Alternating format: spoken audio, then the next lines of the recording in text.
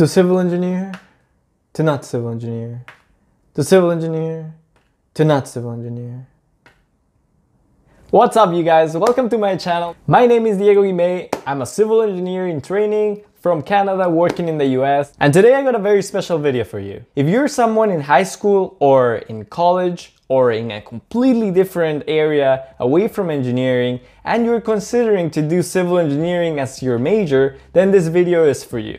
My goal with this video is to give you a holistic approach on what it is to be a civil engineer and what the whole process of becoming one and being one looks like. With this said, we will be talking about five areas of consideration in this video. We'll be talking about the university experience, choosing your path, day to day as a civil engineer, compensation, and fulfillment. So number one, the university experience. I think it's very important to talk about the university experience first because it is the very first four years that you're gonna be exposed to civil engineering and everything that there is to know in order to become a civil engineer. The information that I'm gonna share with you now will vary greatly between different universities in different countries, but I'll try to make it as conceptual as possible so you get a rough idea of what this university experience is gonna look like. In my experience in Canada at the University of Calgary, we had a program where the first year was a general year where everybody would start in a common first year, do the same courses, and then choose which branch of engineering they want to go into. The courses that you will most likely take are courses in calculus, math, physics, and some general courses such as solid, fluid, and liquid behavior, statics, probability. All of these courses are gonna lay a solid foundation for you to learn all the advanced courses more specifically related to civil engineering. Now here's the advice that I will give you I don't want to dive in too deep into the schoolwork and everything that goes into it, but as you probably already know, all these courses are not easy and they will require a lot of time and effort on your part in order to succeed and get through them. Personally, I did not do well at all in my first year and you might kill your first year, you might not, but please don't let this discourage you because it will get better because you will get better as the years go by and the, as the semesters go by. Something else that I want to mention about the university experience is that engineering in general has great opportunities to network and meet industry professionals. In the University of Calgary, there were a lot of opportunities for career fairs and panels where industry professionals would come into my university, make presentations, and tell us a little bit about what it is that they do in their day to day. These are extremely important for your future years as a civil engineer. This is actually the way that I've gotten all of my summer term jobs and my 16 month internship during school. Now, as you get forward into the semesters and through the years, you will start taking some courses that are gonna be more specific, courses such as structures, transportation engineering, geotechnical engineering, environmental engineering, and of course different universities will have different options, but you start to get the idea that as you progress through the years, you will start getting a better understanding and more exposure towards the thing that you might be interested in doing after graduation. And this leads into the second part of the video, the second area to consider, which is choosing your path. So hopefully it is graduation time, you got exposure to a few jobs during school, and you've got a general idea of what it is that you want to do for, you know, the rest of your life.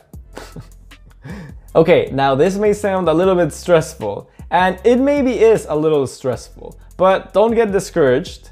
By the time that you are at graduation or close to graduation, you will know what you like, what you don't like, and at least this will give you a better idea as to which path to pursue. You have options such as bridge engineering, structural engineering, transportation engineering, geotechnical engineering, environmental engineering, airport engineering, construction management. There is a ton of opportunity for a civil engineering major. And with this, of course, comes the caveat of, oh my God, there's so many decisions. I'm again at a fork where I don't know which path to choose. So my advice for you for choosing your path is to really take advantage of those summer internships and you know every co-op term that you can possibly get so that you can get an idea of what it is to work in different industries. I, for example, worked in community development and I enjoyed my time there However, after my third year in civil engineering, I realized that I wanted to do structural engineering and I went full blast on that. I was taking courses and seminars and I even attended these outside of school. I was so set on structural engineering, you guys. You have no idea. And then by my last year, I went to a career fair and I met someone by accident that worked in building science engineering. I was curious at first and I went out with a coffee with this person and little by little I began to become more intrigued and at the same time my structural engineering classes I started to find a little bit boring in the way that man I'm I'm doing the same thing all the time and it's a lot of calculations and I don't know if I'm made to do just full-on calculations and don't get me wrong like this is like a very limited knowledge that I have about what structural engineering is like but just from the perspective of losing a little bit of interest and losing that excitement that I used to have about doing a structural just made me reconsider my choices. And so here I am now doing building envelope, which is also called building science engineering, and I'm loving it. So I just want to end this area of consideration by giving you this tip. Don't feel pressured into making a decision right away. You will change, your decisions will change, and that is completely fine. Once you're into civil engineering, it will become more clear as the semesters go what it is that you want to do. So moving on to area number three, the day in life or the day to day. If you gotten so far into your career and you're finally a civil engineer, you chose your path, that means that you made it. For the day to day as a civil engineer, I want to make the distinction between jobs in consulting as a civil engineer and construction management as a civil engineer. The reason why I want to make this distinction is because usually in a construction management job, you will be focusing on one project at a time and you will be in charge of making sure that all of the different areas of the project are running together smoothly. Now, this is different from consulting because in the consulting world, you're usually focusing on more than one project at a time. And I've experienced this when I was working in land development engineering and now as well as a building envelope engineer. Now, in training. Don't want to get sued. This is all important stuff because personally for me, I like variety. I like looking at different projects and learning from completely different environments. So if you're someone that likes that sort of variety, maybe consulting is more for you. Further to that distinction, the day-to-day -day will differ in the way that consultants will most likely spend more of their time in the office versus a construction manager, which will probably spend more time in the field. If you're someone that knows that you just want to get that office experience, you want that corporate environment life, then consulting might be more for you.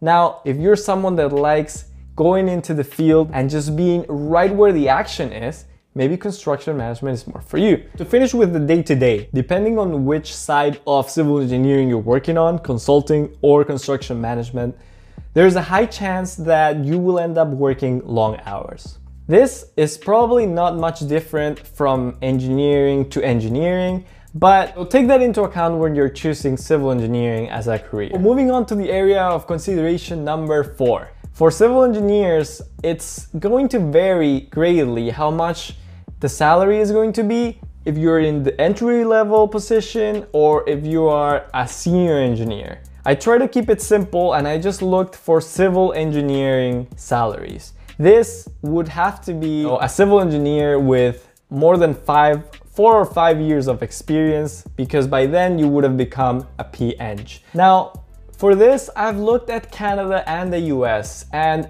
there's multiple sources where you can get a compensation for a civil engineer.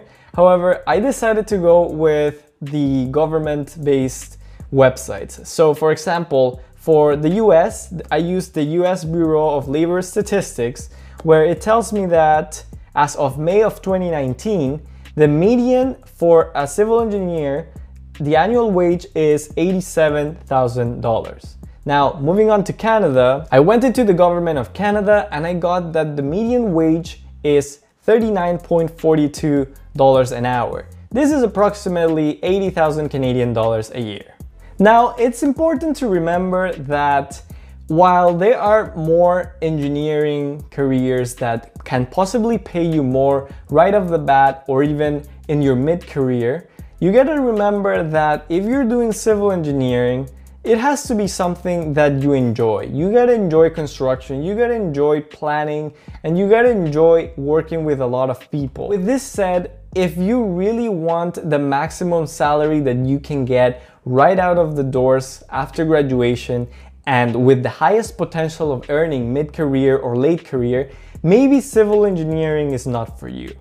Now, this obviously has exceptions as the higher percentile of civil engineers does earn more than 100,000 both in Canada and the US. And for me, there were times where I really considered doing other engineerings. And at the end of the day, I would always ask myself, but will I be happy doing this for 30 or 20 years? And if the answer came down to no, then I always went back to civil because it was what I really wanted to do ever since I was a kid. I didn't want to trade a higher salary for something that I wasn't going to enjoy for the rest of my life. So, area of consideration number five.